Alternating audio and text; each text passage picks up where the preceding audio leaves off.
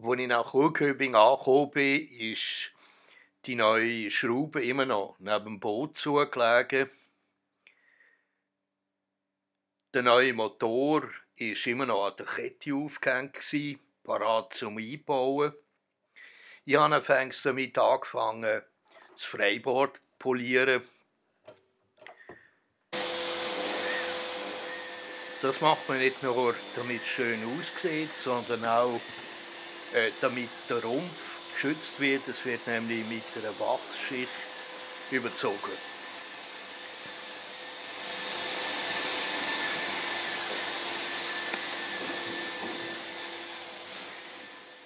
Ich benutze eine Zwei-Komponenten-Politur.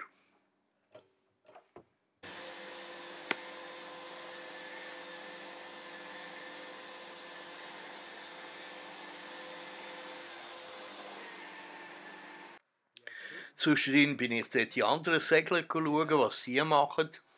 Da wird jetzt ein wunderschöner Knarr mit Antifouling beschmiert unter der Wasserlinie. Das muss man auch jedes Jahr wiederholen. Jeg skal, det er treårige sejler med den. Og jeg, jeg har lige købt den. Jeg er, fak- ja, for tre år siden.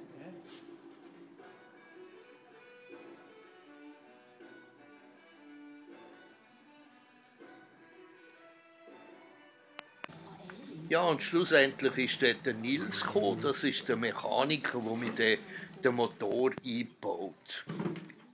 Und morgen tue ich das Antifouling unter der Wasserlinie aufstreichen. Das war's. Das war mein Bericht von meinem ersten Tag in Ulköbing.